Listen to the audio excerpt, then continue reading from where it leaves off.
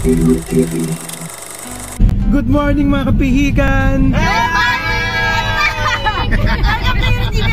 Ganyan po kagulo yung pamilya namin. Yan, meron kaming family outing ngayon. Saan tayo pupunta? Sa fish pan! Fish pan. Maminumit kami ng isda. Hi LK, say hi to Yurik TV. Dali. Hi Ate Gail, say hi. Dali. Yan. Where are we going? Where are we going? Fish pan. Fish pan. Where? We're gonna swim in the swi- fish pan. What? Where are we going to swim? There's no swimming pool there. Beach! Wow! So yun, pupunta nga kami sa Olonga po. Olonga po ba Sambales? Sama! Sambales! Pag-iwan yan sa ano, Olongga po, mine. Saan ba sa Sambales? Palawi. Palawig. Palawig? Palawan yata. Ah, yun. Basta kung saan man yung lupalop, hindi ko alam. Ngayon lang ako makakapunta. Dapat, Sa dati nung ano? hindi. Hindi. Dapat kasi naka-backride ako sa motor. Excited pa naman ako. Dala ko pa naman yung jacket ko na wind, ano tawag lang, windbreaker. Tapos sinanda ko na yung paa ko. Ewan ko ba ba't ano nakain ni Joel? Excited pa naman ako magmotor ng nakaangkas kasi pagka nakasasakyan kasi hindi ako nakakatulog. Pero pagka motor usually nakakatulog ako pag umaangkas. Cha-challenge.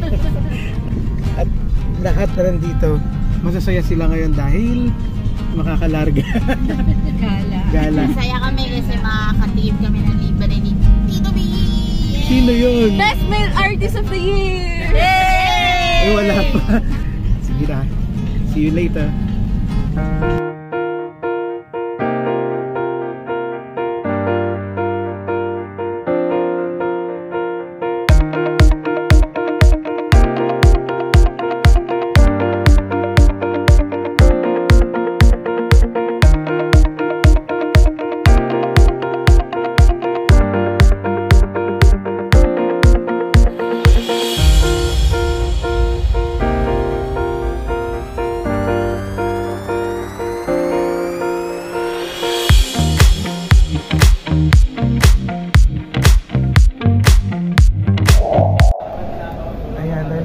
Kami, nag-almusal muna kami rito sa Saan mo, boy?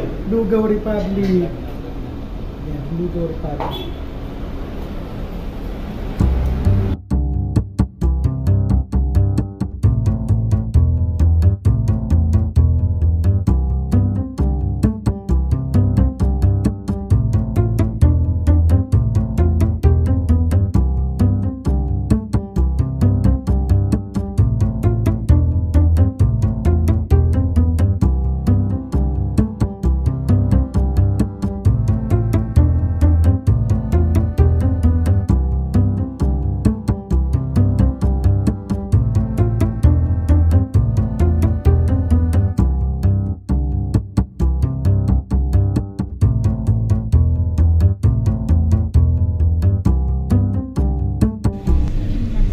Nasa Palawig na kami. Palawig, Palawig. Akala ko Pulilan. Kasi may kalabaw. Palawig, Palawig. Nandito na kami sa lugar pero we're not sure kung saan papasok sa Sunset Villas. Villas na kapatid ni Nova Villas. May ibang kanto Ayan, sa isang kanto pala. We thought it's this house. But it's not. Eh? It always happens pagka hindi mo hindi ka taga doon talaga. So, let's see. For sure makakarating din kami doon. Ito na, we're here.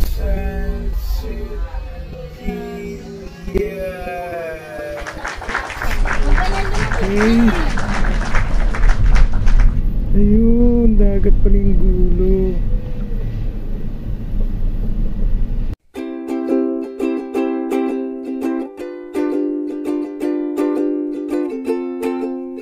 Wow, makapikan sobrang ganda ng lugar.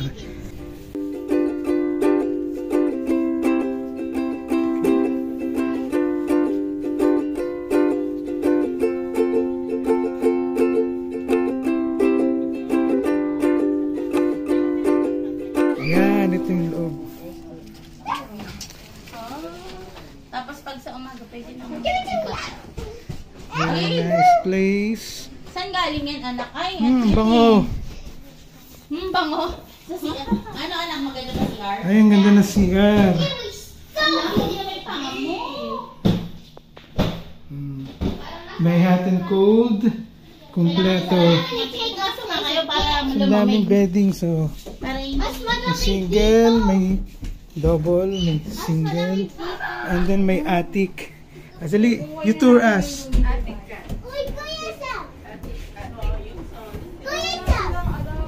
Wow, there's an aircon. May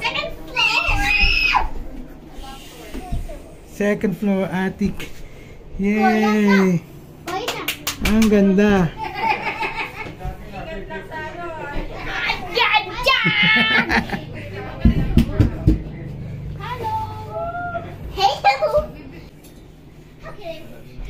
Ito na yung mga honeymooners. Yung mga honeymooners.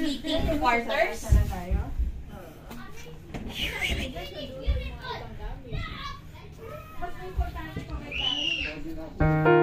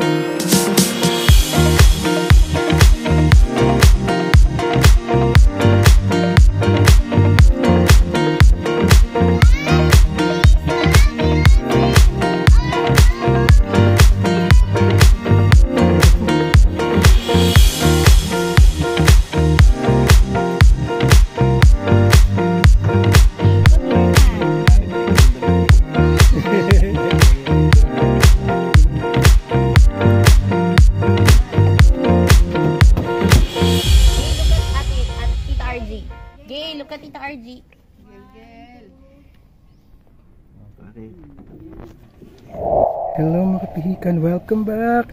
So, we're about to leave na in a couple of minutes. And it's so it's review time. Okay? So for the place, actually I'm giving them 5 stars. Yes. Kasi napakaganda ng lugar.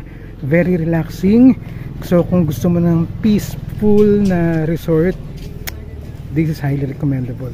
Talagang ma-enjoy mo. Kita mo nga, ang daming mga nandito para mag-aral at saka yung mga tao rito parang well-disciplined. Yung mga guests nila parang mga educated, mga professional. Wala kang makikita nagsisigawan wala kang nakikita nag-iingay. Talagang very thumbs up para sa akin. And then yung mga staff nila ang babait. Pag may request ka nandiyan agad ibibigay darating sila agad. Ang gagalang yun nga para sa akin talaga this really a very very good place kung gusto mong mapahinga ng gusto. Kaya yun um, I really enjoyed kahit overnight lang kami rito pero ang sarap, ang ganda. Talagang hindi nyo pagsisisihan. Bagamat medyo pricey yata siya I'm not sure about the price pero worth it naman, sulit na sulit. Kaya kung naghanap kayo ng place na ganito relaxing, peaceful eto ang puntahan ninyo. Grabe Okay, so that's it. Thank you so much for watching. Hope you enjoyed our episode for today. Until my next vlog, see you. God bless and shalom. Thank you. Bye-bye.